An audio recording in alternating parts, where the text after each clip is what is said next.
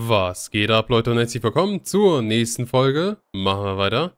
So, wie ihr schon vielleicht seht, Red Talon, ich habe sie geholt. Zwei Stück. Ich muss aber länger reloaden, damit ich die richtigen Charaktere bekomme, die ich will. Und die sind immer noch nicht 100% perfekt, aber die werde ich dann später noch ein bisschen umändern. Die habe ich jetzt nur so genommen, damit wir erstens acht Leute haben, damit wir hierhin umziehen können.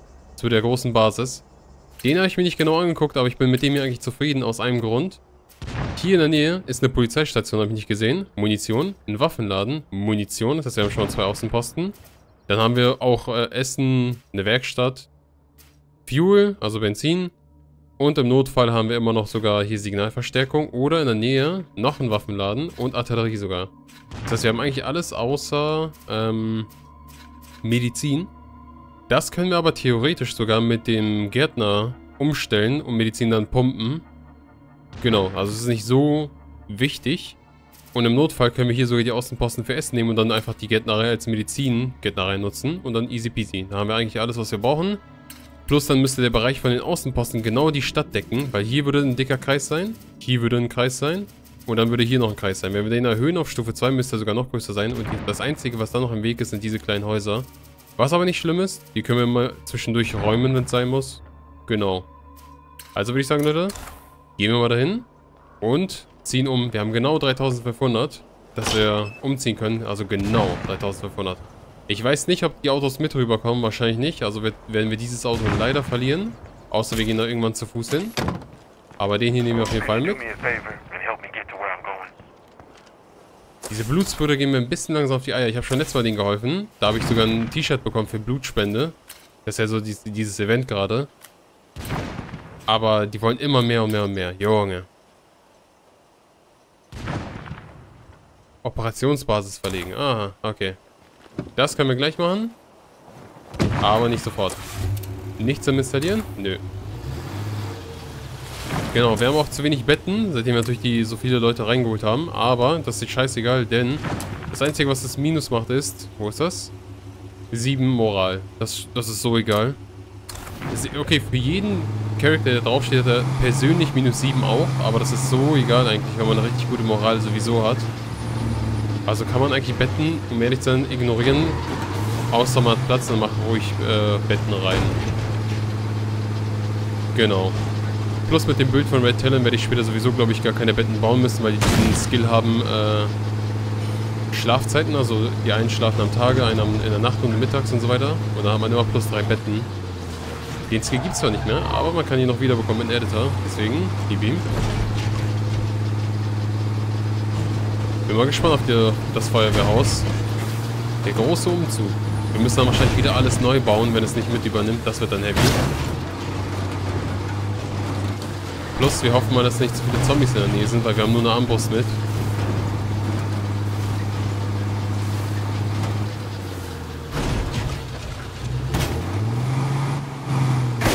Alter. 6.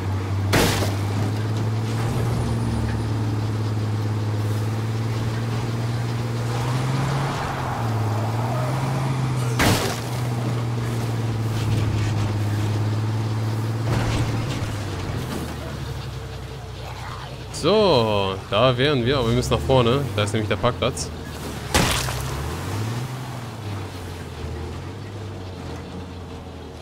Ganz genau der.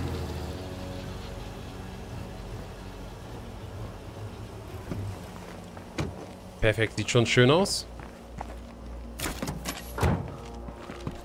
Genau, der Typ ist auch mit seinen Waffen gespawnt, die man auch in Daybreak hat zum Beispiel. Den Elite-Paket der Roten Klaue. Der ist so underpowered. Im Sinne von, das ist äh, Rote Klaue. Das, die haben immer die besten, äh, meistens besten Fähigkeiten, äh, Items und und und. Aber... Oh, wir können hier auf. Ähm... Aber die sind alle nur so standardgut wie die normalen, was ziemlich dumm ist, weil das macht gar keinen Sinn. Deswegen gibt es auch einen Mod, der das alles verstärkt und das ist auch richtig so.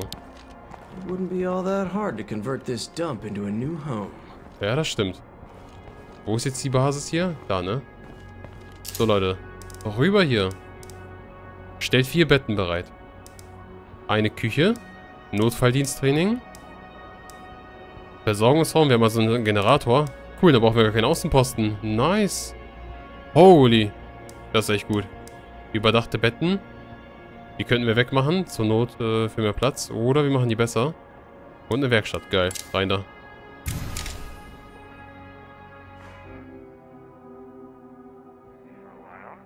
Da wären wir. Passiver Lärm. Wie denn? Ah, nochmal wieder vor. Genau, wir müssen jetzt alles reparieren. Für drei bewaffnete Wachen. Oh, Alter. Okay, fangen wir erstmal, ähm... Ich würde sagen mit dem Turm an. Dann machen wir als nächstes natürlich den Trainingsraum. Und die Anlage reparieren. Nochmal zwei. Jetzt haben wir gar keine mehr, ne? Genau, jetzt sind alle Leute in Arbeit. Wir werden... Ich werde draußen die scheiß Dings wegmachen. Oh, oh, Dickerchen. Nein, nein, nein, nein, nein. Genau, wir müssen auch Autos finden und die Eingänge blockieren, weil da, da hinten, da hinten, hier vorne sind zwei. Und ich glaube links wahrscheinlich auch noch einer, wenn das schon so gebaut ist. Die müssen alle weg. Also im Sinn weg mit ein Auto davor stellen, weil da kann niemand mehr da rein. Also da durchgehen, keine Zombies mehr. Und das ist der ganz große Vorteil. Ah, die gehen sowieso weg, das ist uns doch noch egal. Dann nehmen wir den Rames und machen den hier blockieren. Dann nehmen wir nochmal unser altes Auto da hinten, wenn wir es geholt haben. Irgendwann hier blockieren, hier blockieren. Genau. Weil dann muss man nicht alle Seiten verteidigen, nur die wichtigsten. Theoretisch müsste ich auch eigentlich nur die kleinen abschließen, damit nur die das eine offen ist und hier vorne. Weil dann kann der Turm hierhin sowieso besser schießen. Das heißt, die schwache Seite abdecken, die Tore, wo sowieso nicht geballert wird. Und dann ist alles im grünen Bereich. Genau, hier hinten ist, glaube ich, sogar ein ganz großes, oder? Nee, das ist... Okay, hier kann die gar nicht durch. Das ist gut, das ist gut. Das heißt, hier ist 100% nicht eindringbar. Also haben wir doch nur vier Eingänge. Einen sollten wir auch für uns lassen. Aber theoretisch könnten wir auch hier rüber. Das wir brauchen eigentlich keinen. Und wenn wir das alles absperren würden, können die gar nicht mehr eindringen. Was ein bisschen broken ist. Talent. Bam, Junge. Das ist so geil, Junge. Holy. Okay. Ja, dann holen wir mal den Rames, würde ich sagen. Und parken irgendwo davor. Wenn wir das leise hinkriegen, aber ich glaube nicht. Aber hey, versuchen, versuchen. Das Geile ist, wir haben jetzt die Fähigkeit mit dem Re vom Revolver hält für automatisches Aim. Voll geil.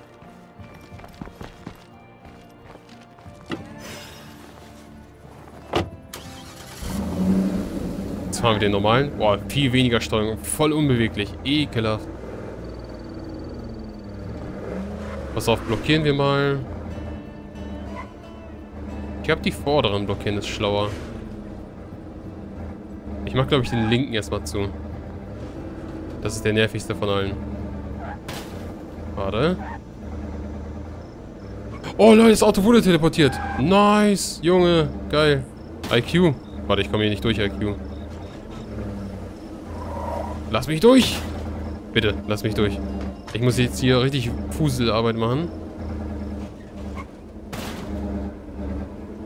Das Auto ist zu lang für die Scheiße hier. Oh, schon besser. Noch ein Stückchen für genaue Perfektion. Beste Leben. So, da kommt jetzt keiner rein, außer wir. Dann. Ich glaube, den Wagen müssen wir leider auch opfern, weil wir haben noch keinen anderen. Oh, da ist ein Bolzen. Den, den dürfen wir nicht alarmieren. Ganz und gar nicht. Wir fahren nach hinten. Im Notfall können wir das Auto ja wegnehmen, aber nur im Notfall. Weil es gibt leider keine Barrikaden, richtig? Deswegen machen wir natürlich die Autobarrikade, die das Spiel nicht vorher gesehen hat. Oder wenn doch, GG. So. Kann ich jetzt auf und drüber springen, theoretisch? Jawohl, Junge. Gut, die können ja jetzt nicht rein. Die Basis ist fast fertig. Dann machen wir als nächstes Moralboost hier. Reparieren. Die sind jetzt in zwei Sekunden fertig. Zack, Junge. Doppelstockwerk freigeschaltet. Jawohl. Und nochmal reparieren.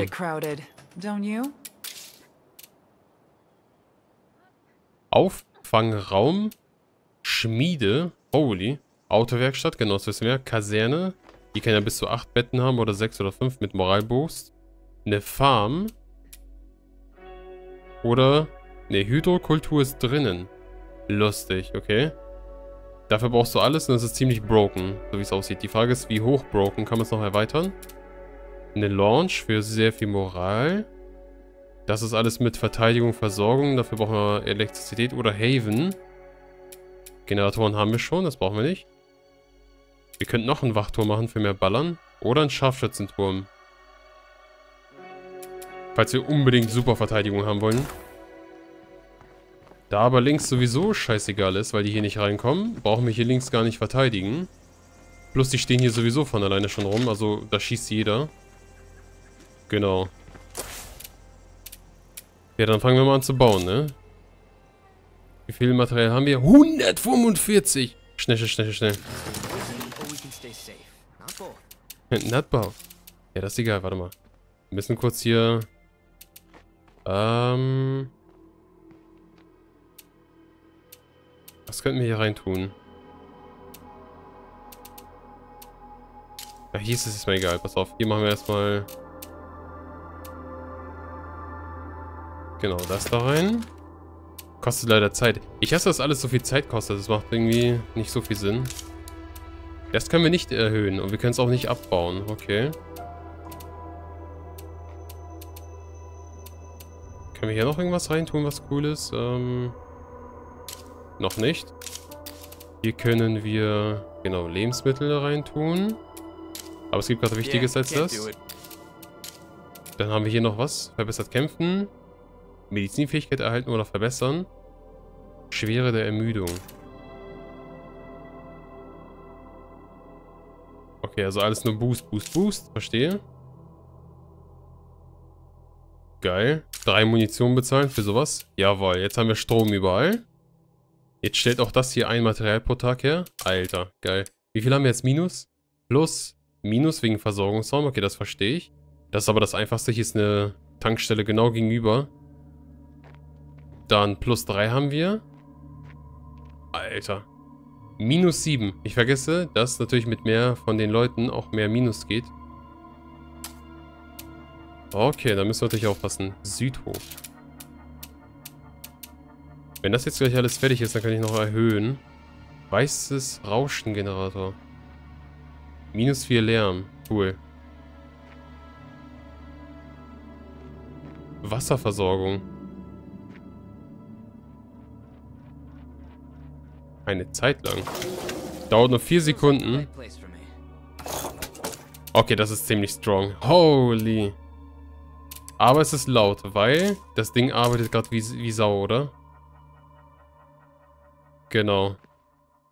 Stationstoilette und alles. Ey, Junge, hier wird auf jeden Fall Angriffe geben. Wir müssen uns sehr, sehr gut verteidigen. Es ist schon dunkel geworden. Oh, sieht schön aus hier. Nice. Nur die hier machen mir Angst ein bisschen. Junge, die kommen immer näher. Der Bereich ist aber schön voll. Sehr gut. Gut, weiter, weiter, weiter. Ähm, wir brauchen unbedingt eigentlich einen Will ich eine Farm bauen? Ich muss kurz mal gucken, welche große Slots sind mir überhaupt wichtig. Ein weiteren Turm wäre cool, im Sinne von hier vorne, weil dann wäre ja wirklich hier an der Grenze und wir könnten dann wirklich hier hin ballern. Und alles, was hier ist, ballern und ein bisschen auch natürlich hier, aber hier ist sowieso unwichtig. Aber es wäre nicht schlecht, um überhaupt zu verteidigen. So, wenn es nichts Besseres gibt, lohnt sich das sogar wirklich. Was noch? Eine Launch. Verschiedene Möglichkeiten, Arbeitskraft zur Verbesserung der Moral einzusetzen. Okay, Moralmaximierung und Kaserne für nochmal Betten. Wahrscheinlich muss man sowas bauen, wenn man normal spielt. Weil es sind dann 8 Betten plus die 4 Betten, dann sind genau 12. Aber eine Autowerkstatt wäre auch geil. Nahkampfwaffen, materiellen Ersatzteilen herstellen. Senkt die Anlagenkosten. Also gut für Anfang bauen, für herstellen und danach wieder deaktivieren, okay. Die Schmiede hatte ich noch nie, muss ich sagen, Leute. Probieren wir mal aus. Ich überlege, brauchen wir überhaupt eine Autowerkstatt? Eigentlich schon, weil die so schnell kaputt gehen, aber eigentlich auch nicht indirekt, weil... Eine Werkstatt ist eine Werkstatt, glaube ich. Im Sinne von, wir können ja hier herstellen, oder? Wissen über Konstruktion. Ja, das ist egal. Ja. Ja, wir können hier Toolkits herstellen. Nur die normalen oder ein fortschrittliches und das kostet sehr teuer. Aber dennoch ist das richtig gut.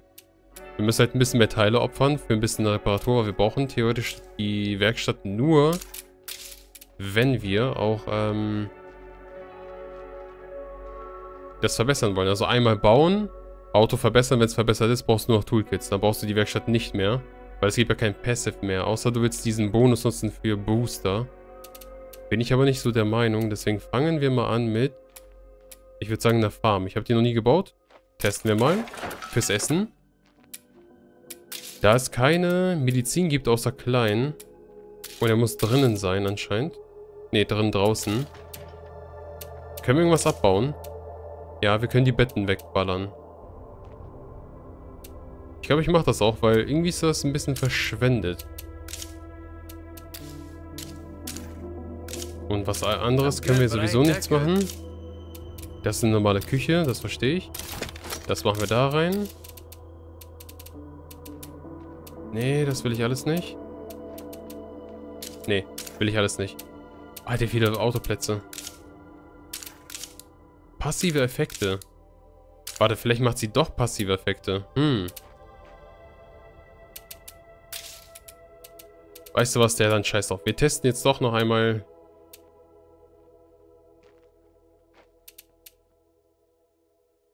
Genau, die Schmiede nehmen wir doch. Ich habe kurz überlegt. Ähm.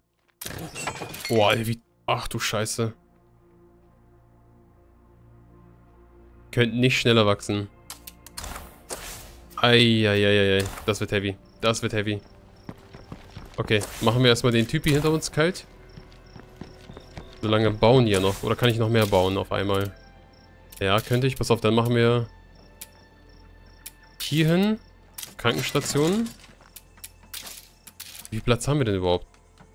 50. Glückwunsch. Ähm, wir haben nicht genug Leute, um schneller zu bauen. Den Mod von früher habe ich auch nicht mehr. Wir können auch hier nicht rüber. Das ist der einzige Nachteil daran. Wir müssen jetzt hier rausgehen. Aber deswegen haben wir einen Platz freigelassen, ne? Later, people. Gotta see a guy about a thing. So, sprinten, sprinten, sprinten. Leveln, leveln, leveln. Baue eine Anlage zur Wasser- oder Stromversorgung. Ich muss die bauen, obwohl ich die jetzt habe. Das ist natürlich schlecht. Da registriert das Game nicht, dass man das hat. Das ist echt bad. Dann müssen wir es jetzt extra bauen und wieder zerstören. Ja, das ist natürlich gay. Boah, das ist richtig gay. Good hustle, everyone. That's one more project complete. Jawohl. Das ist eine gute Ecke fürs Krankenhaus, definitiv. Drin werden mehr Keime. Also, gib ihm. Äh, das geht nicht mehr. Ja, machen wir, glaube ich, äh... Was ist wichtiger gerade? Was brauchen wir mehr? Nahrung, Medizin mit Strom ist mehr. Oh. Der kann aber überall, ne? Ja, der kann überall. Das ist halt scheiße. Hm. Kann ich den Kühlschrank auch an der... Kann ich überall machen. Dann... Die Toilette reinigen. Jeder verdient einen sauberen Rückzugsort. Oh Mann. Ne, dann machen wir das hier hin.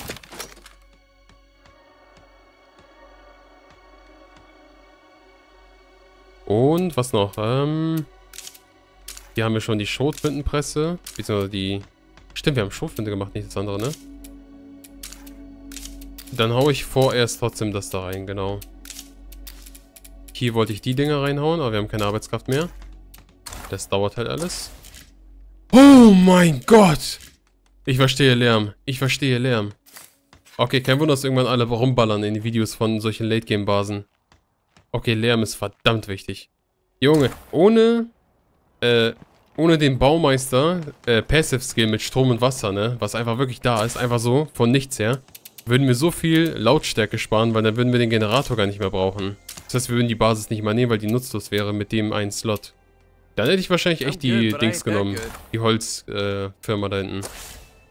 Aber das ist echt verdammt viel. Gut, dass die alle außen sind. Holy, ist das krank. Gut, dass wir den hier irgendwann haben werden und den hier. Dann sind die schon mal hier weg. Und nur noch hier hinten spawnen und vielleicht hier. Das interessiert uns aber auch nicht dann nicht mehr. Boah, das ist krank.